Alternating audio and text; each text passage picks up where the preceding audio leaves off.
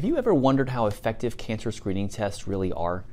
I'm referring to colonoscopies, mammograms, pap smears, and PSA tests. You know, the stuff your doctor recommends that you may or may not actually have done. A recent report by researchers at the University of Chicago found that only 14% of cancers diagnosed in the United States are diagnosed after the patient had a recommended screening test. Now, this may sound like a low number, and it's not because the screening tests don't work, because they do. The reason this number is so low is that a majority of cancers do not have a recommended screening test associated with them.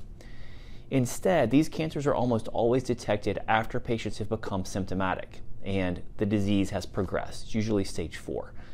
The classic example of this is a patient with pancreatic cancer who was only diagnosed after the cancer had spread to the liver and the patient had pain and jaundice. One of the biggest challenges in oncology is detecting cancer sooner. We know that the earlier we can detect cancer, the better the outcome tends to be. And research bears this out. However, we just haven't had many screening tests developed in the last few decades. This is why I'm excited about a new test called the Galleri test. It's a simple blood test which screens for over 50 different types of cancer.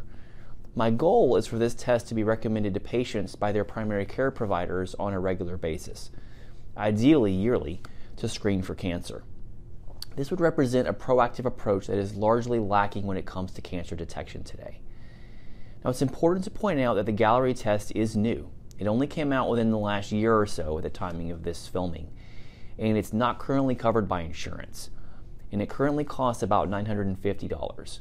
However, if you can afford it, I think it's an excellent addition to your yearly blood work. Now, I'm not affiliated with the Galleri test in any way, but I do believe that they are onto something, and I wanted to recommend it to you. You can get more information by going to their website at galleri.com. That's G A L L E R I.com.